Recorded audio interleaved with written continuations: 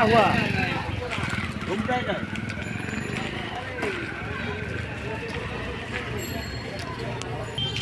Gopinathpur new মার্কেটের সামনে পদ অবরোধ করা হয়েছে যাদের আবাস যোজনার ঘর কাটা গেছে নাম কাটা গেছে তাদের অবরোধ করছে যেন তারা বাড়ি পায় বা সঠিক ইনকোয়ারি হয় ওটাই সকাল ইনকোয়ারি হবে এবং এনকে লিস্টে নাম উঠবে আমাদের তড়ি ঘড়ি এত কিছু নেই যে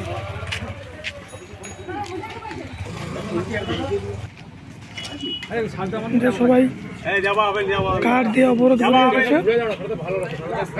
বুঝে যাচ্ছে কাউকে যেতে দিচ্ছে না।